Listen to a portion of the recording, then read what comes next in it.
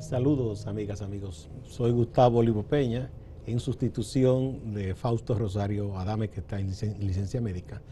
Hoy nos toca, eh, continuando la serie de programas que tienen que ver con temas históricos, vamos a conversar hoy con el doctor Santiago Castro Ventura. Es médico originalmente, pero hizo una maestría en historia. Es un historiador de, tiempo completo ya y es un hombre muy eh, productivo en cuanto a investigaciones que paren libros. Eh, hoy vamos a hablar con el doctor Santiago Castro Ventura de estos dos libros. La esclavitud al doblar de la esquina en la anexión a España.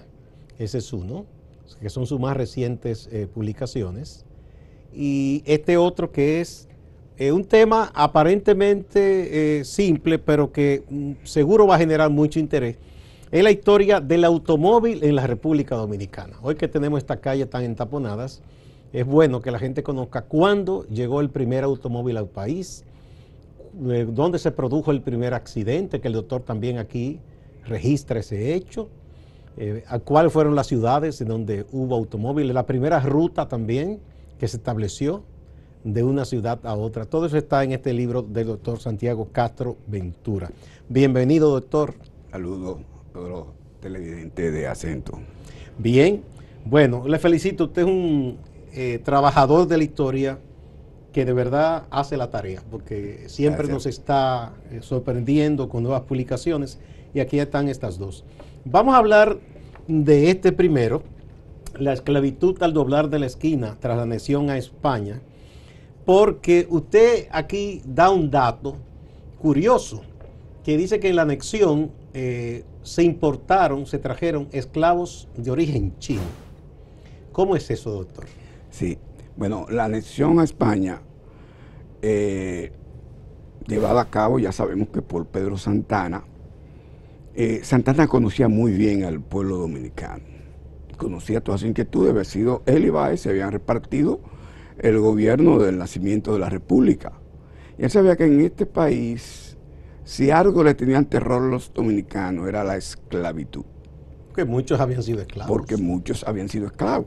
Incluso, por eso en la portada del libro se pone el derribamiento de la Palma de la Libertad. La Palma de la Libertad fue un monumento que hizo Boyer, o lo hace Boyer, cuando el 9 de febrero de 1822 ordenó la puesta en libertad de los esclavos en el Parque Durante Colón. el gobierno haitiano en toda la isla. En el Parque Colón se a partir de ahí desapareció la esclavitud para siempre. Señores, y los haitianos, él ordenó plantar esa palma que se le puso la palma de la libertad.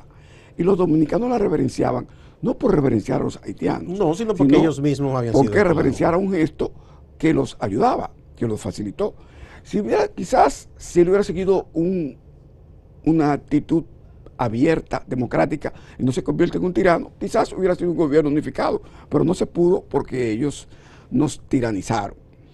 Pero ellos muy hábilmente tenían una consigna, que era que si ellos iban de aquí, volvía la esclavitud. Sí, esa fue la, la, propaganda que se hizo para que la gente no se sumara a, movimientos separatistas. Exacto. Entonces, por 22 años, el argumento 1A de los haitianos era que si ellos se iban venir a la esclavitud y los negros, que eran la mayor parte de la población, lo estuvieron apoyando, hasta que llegó la idea de Duarte, que unificaba a todos los sectores del mismo color, eh, de diferentes colores, no importaba, y se forma la República Dominicana. Pero aún así, incluso eh, Pedro Santana acusó a Duarte de colombiano, porque la acusación que hacían los, haitianos era colombiano, porque Núñez de Cáceres, en un intento oligárquico, hizo una independencia falsa, eh, unida a la Gran Colombia, decía él, porque en la Gran Colombia había esclavitud. Y ese era el argumento que usaban los haitianos. Y lo usó hasta Pedro Santana contra Duarte y sus compañeros. Entonces, ahora que viene la anexión, él sabe que hay una cosa que la gente no soporta, y es la esclavitud. Entonces, él pone como única condición eh, la única condición que él le pone a los españoles es que no se restablezca la esclavitud. Los españoles la aceptaron de boca, pero en el decreto de mayo, del 19 de mayo de 1871, no aparece escrita. Es decir, ya en el documento que oficializa la anexión y que ya ellos toman control del gobierno acá. El decreto oficial no aparece. Eh, ¿Cómo que se va a respetar eso? Obviamente, ellos se enteraron de la situación y eh, sabían que había inconformidad y que si se implantaba la esclavitud, iba a haber problemas, pero ellos tenían una gran dificultad, que habían adquirido una nueva colonia en medio de dos colonias donde había esclavitud, Cuba y Puerto Rico. Y había tensiones. Sí, entonces había un grave problema. Y ellos, la fuerza eh, productiva, fuerza de mano de obra que usaban era la esclava. Entonces aquí, para evitarse confrontaciones, ellos decidieron primeramente tratar de traer colonos españoles para ponerlos en los trabajos fuertes del campo y de construcciones, pero estos colonos españoles se fueron y optaron por traer eh, supuestos prisioneros chinos. Estos prisioneros chinos no eran más que unos eh, chinos que ellos iban a Macao, en China, y le hacían unos contratos para que fueran a trabajar, pero cuando llegaban a Cuba Macao ya en ese momento era colonia portuguesa. Era colonia portuguesa. O sea, negociaban con Portugal. Con Portugal eh, se negociaba y en Cuba llegaron a tener más de 100 mil eh, chinos prácticamente esclavos, le llamaban culíes, que eran los trabajadores. Entonces ellos tomaron una decisión que fue, bueno, como ellos lo que se oponen es la esclavitud de los negros, vamos a llevar los chinos como prisioneros de guerra. Entonces estos chinos fueron introducidos aquí como prisioneros de guerra y fueron introducidos a áreas claves, Samaná, donde el Samaná era el puerto de mar más apetecido porque podía ser una base naval para la construcción de barracas, para, para traer el carbón vegetal que se usaba para los barcos, fueron introducidos a Puerto Plata. Eh, oficialmente se estima que unos 400 chinos llegaron. Pero como eran supuestamente prisioneros, no los vinculaban nunca a la población civil y la población civil no pensaba que eran esclavos porque la gente lo que estaba aquí acostumbrado era a ver esclavos negros no sabía que habían esclavos chinos. Eso transcurrió de una manera tal que, aunque en periódicos españoles se llegó a denunciar que, era, que se estaban trayendo chinos y ya en Cuba se denunciaba que eso era esclavitud.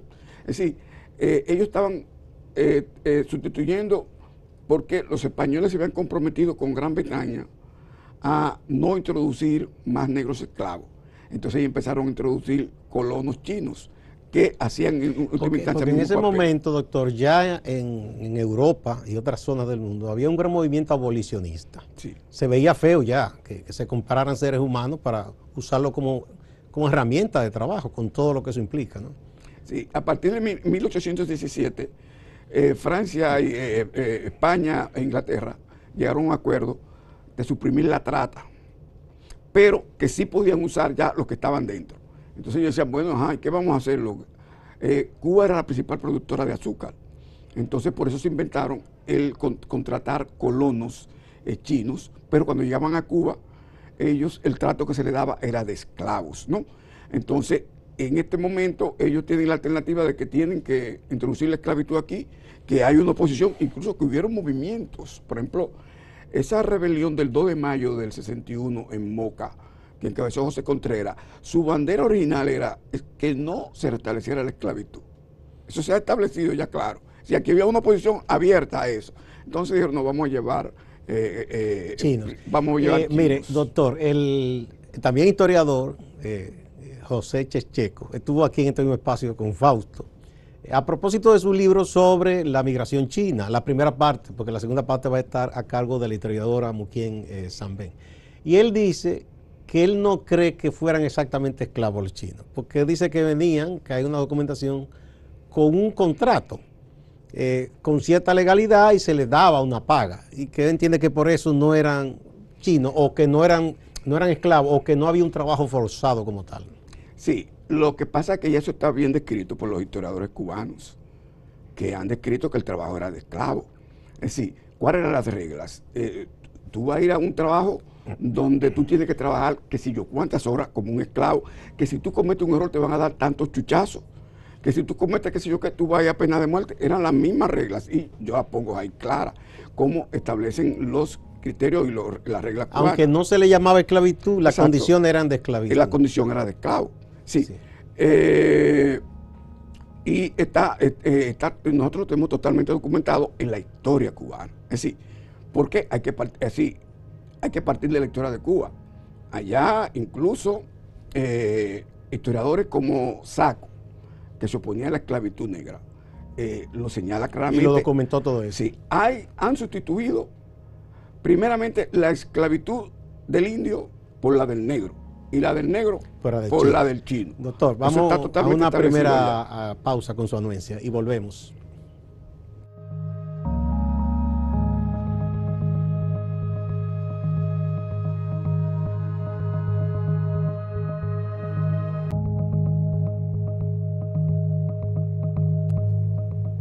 Continuamos con el doctor Santiago Castro Ventura, médico e historiador. A propósito de sus dos últimas publicaciones, La esclavitud al doblar de la esquina tras la anexión a España y El automóvil y las vías de circulación en la historia dominicana. Bueno, ese es un, elemento que hace atractivo a la lectura de este libro. Ya lo estuve leyendo y tiene, tiene muchos datos. Usted, además de esos historiadores, ¿a cuáles otras fuentes usted acudió, doctor? Eh, acudimos fundamentalmente a las fuentes españolas. Hay incluso libros de escritos de aquella época por españoles que se referían a la necesidad de reemplazar eh, el trabajo esclavo por el trabajo de los, de los chinos. Los chinos. Incluso aquí, sí, hay incluso el, el, eh, en el 1864 un, un capitán español de apellido Recamán escribió un, un opúsculo. Yo imagino que sería un hombre de la inteligencia de ellos, porque como un capitán le van a dar esa, la potestad de escribir un libro de eso que nosotros lo citamos ahí. Y hay periódicos españoles como El Clamor Público, don, que era un periódico liberal, eh, llama abiertamente que es un trabajo esclavo que se está Y lo, y haciendo. lo- lo cita en términos críticos. Sí, lo cita en términos críticos. Dice, es eh, lo que se está haciendo con ellos no es otra cosa que esclavitud. Y también hay historiadores cubanos como Peña de la Riva que demuestra abiertamente que el trato era trato esclavo, porque no podemos esperar que ellos le den un... eh, pero había esclavos negros que se les pagaba una jornada extra y ellos podían comprar su, eh, su libertad Sí. trabajando qué sé yo cuánto. El sí, régimen de, sí, la, tuviera, de la eh, compra de libertad, eso existió en varios Sí, países. porque tuviera un pago, eso no significa. Es lo que pasa es que ese pago se le hacía a los chinos. Ellos no podían reunir, ni siquiera para volver después a China. Eh, Generalmente entonces, que usted, quedarse en allá. esa partida de 400 que vinieron acá, ¿hubo más eh, importación de chinos o simplemente ese fue el único grupo? No, fue ese el único grupo. El único. Fue el único grupo. Se escaparon varios, incluso de los que se escaparon. Ellos, eh, hay uno de ellos que ellos le mandan a pedir a, a Gaspar Polanco, que era el comandante de Puerto Plata, que se había escapado un chino que era un asesino muy peligroso, que se lo devolviera. Y ellos le dijeron que no, que le mandó la, Gaspar Polanco, le respondió diciéndole que a donde ellos no había llegado nadie. Y posiblemente no, porque no hay ninguna información de parte de dominicanos. Eh, eh, la única información es de el, el ministro consular interino norteamericano, Jonathan Elliot, que dice, los españoles estaban saqueando los comercios cuando, en Puerto Plata, usando los culíes que ellos que trabajan con ellos. Ah, los chinos. Sí. Ese término, sí, despectivo, Despectivo. eh, no es de aquí, viene de Cuba. no, viene de Cuba. De Cuba. Viene de Cuba. Sí. Sí. ¿Se sabe el origen de esa palabra? sí. No Parece que era que se le daba a ese tipo de trabajadores que era encubierto, como Sí. eh, que eran trabajadores, pero en realidad eran, eh, Bueno, eran en esos años, por lo que hemos sabido, o sea, no, no fue este el único territorio en que se trajeron esos trabajadores en esas condiciones, porque en Estados Unidos hubo No, Perú. cantidad de Perú también. Perú fue el sitio donde mayormente, incluso los Hosto lo denunció. Sí. Cuando vi ese trabajo esclavo de los chinos, porque no es que los chinos tienen que decir que eran esclavos. Ellos lo podían hacer el trabajo de Sí. esclavo. China todavía en ese ya en ese momento era un país muy poblado, tenía condiciones eh, de pobreza, había sido eh, colonizado en gran parte por las potencias europeas y por Japón. ¿no? Y, y yo integro, es decir, el gobierno chino, con todas las dificultades que tenía, exigió una investigación.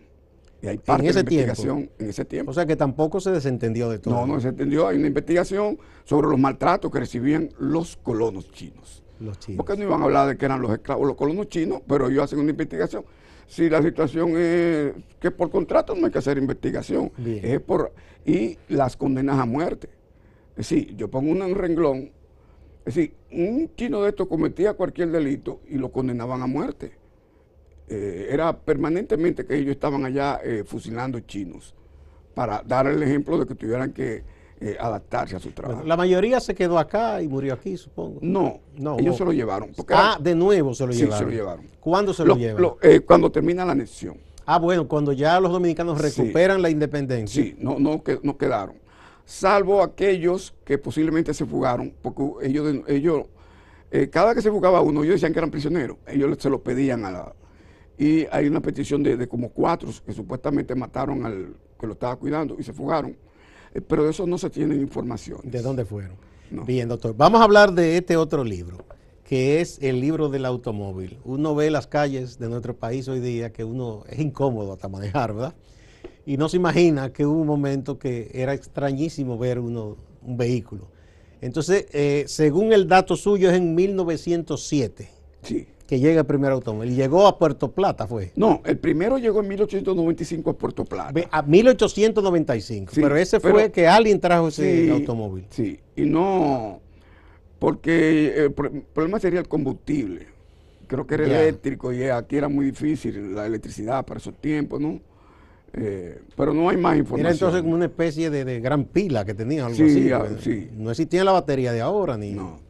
Y eh, bien, entonces ya formalmente 1907 comienzan a entrar los automóviles. ¿A dónde viene el primero en el 1907? Sí, eh, había una concesión que eh, un empresario cubano, Pedro Marín, cubano dominicano, Pedro Marín tu- tenía una concesión para traer eh, vehículos. Porque aquí eh, ya estaba el tren y el Sí. tren fue un- a, eh, a partir de 1870, eh, mil, eh, cuando, ¿Cuándo Lilis? 1887 Sí, cuando Lilis. empieza el primer tren, Sánchez La Vega. Y después se hizo el ferrocarril central Santiago, eh, Puerto Plata. La gente nunca había visto aquí eh, un aparato que saliera corriendo, ¿no? Eso fue terrible. Entonces la capital, eh, la capital no manejaba.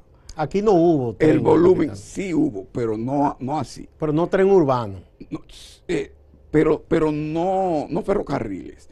Entonces, el movimiento de mercancía hacia el Atlántico era por Samaná o por Sánchez. Entonces, no era comercial traer un tren a la capital, porque los barcos... Esos eran los principales puertos. Los principales puertos.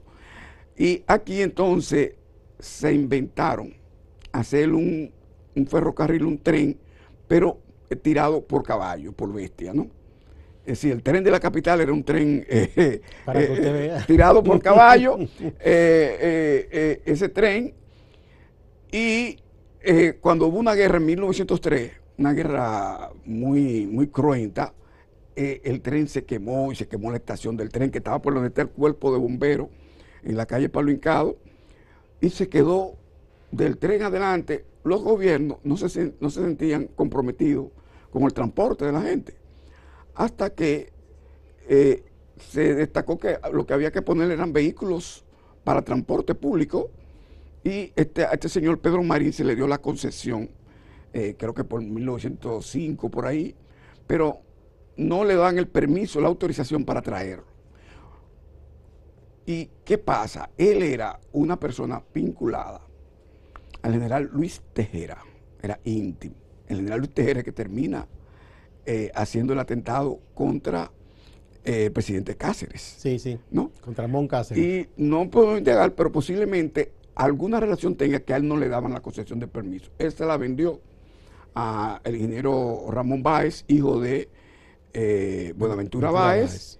Y en el 7, en el país hay una gran conmoción porque el presidente Cáceres acaba de, acababa de, por encima de todo el mundo, de aprobar la Convención Dominico-Americana de 1907, que todo el mundo le dijo que iba a ser, iba a provocar una intervención militar, como, Como pasó tal, como tal. como pasó. Entonces una gran conmoción y parece que para atenuar él le dio ya la autorización. Entonces en el mismo 1907, en medio de la protesta, eh, él trae los dos primeros eh, eh, Automóviles. autos que eran realmente eran una especie de guaguas, ¿no? porque tomaban 12 o 13 pasajeros. Sí, eran, sí, eh, yo digo que esa, en eso derivó después a futuro lo que son las jipetas hoy día. Sí, más o menos. Vamos a una pausa y retornamos para seguir con este tema.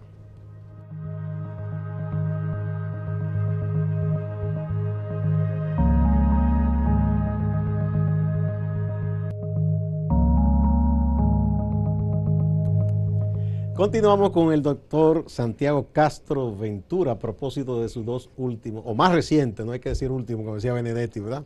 Sus más recientes publicaciones, La esclavitud al doblar de la esquina tras la anexión a España y este, de que estamos hablando ahora, el automóvil y las vías de circulación en la historia dominicana. Entonces, esos automóviles, eh, ¿qué marca eran? ¿Se sabe? ¿O de qué? Eh, no, los primeros no se sabe la marca. ¿Y de dónde vinieron? ¿De Estados Unidos o de Europa? De Estados Unidos, de, Estados, Unidos, sí. Eh, la marca realmente no, no se Seguro eran Ford, que fueron de los primeros eh, fabricados. llegaron Ford más adelante, pero no eran Ford en ese momento, ¿no? Porque habían diferentes marcas, estaba la marca Reo, habían varias marcas que después desaparecieron. Sí. sí. no, realmente fueron esos dos automóviles, pero causaron sensación porque incluso en la prensa dice, hoy el automóvil subió por la cuesta de San Miguel. Eh, ayer todo el mundo está sorprendido porque nadie vio el automóvil en la calle. Porque en ese tiempo la gente andaba o en caballo individualmente o en coche tirados por caballo. ¿verdad? Exacto, sí. Eh, porque la misma capital era un vecindario, uno o dos vecindarios. hasta el extremo de que el tren era tirado por caballo. Imagínese. tren era, era por Pero usted menciona aquí también que la primera ruta fue desde la capital a San Pedro de Macorís. ¿Cómo fue? Ah, sí, no, ya esa es la ruta eh, interurbana que se hace, porque el grave problema era que no había calles ni carreteras adecuadas. eran caminos. Eran caminos en la propia capital. No, eh, eran graves problemas. Eh, habían calles que lo que tenían eran escalones. El caso de, la, calle Duarte, que se llamaba la Cuesta del Vidrio. esa calle tenía, era, uno se da cuenta que la calle viene bajando, la loma, pero que vean ahí eran escalones, entonces por ahí no podía pasar carro. Igualmente pasaba con la Hosto, eran calles escalonadas y otras calles que eran muy estrechas. caballos en esos escalones. Sí, entonces el otro problema es el asfalto. En aquellos tiempos había sitios donde existían los adoquines, que los carros sí podían, porque los adoquines uno lo ve en la zona colonial, pero se puso mucho después. Ah, no es verdad que en esos tiempos había adoquines ahí. Y después se inventó algo llamado el macadán. Macadán. El macadán, sí. El macadán es, eh, eran piedrecitas especiales que iban de diferentes tamaños, se iban poniendo de la, más, de la más grande hasta la más pequeña. Entonces se aplanaba. Pero cuando caía una lluvia, eso era una melcocha terrible que de se nuevo había que trabajar. entonces, ese era uno de los graves problemas, la circulación. Entonces, para el interior, el, eh, en San Pedro, eh, creo que el propietario de un, de un ingenio que estaba en el ingenio Consuelo, eran gente de muchos recursos, trajeron un carro y hicieron el camino para ellos poder, porque no era solamente traer el carro, sino hacer el camino.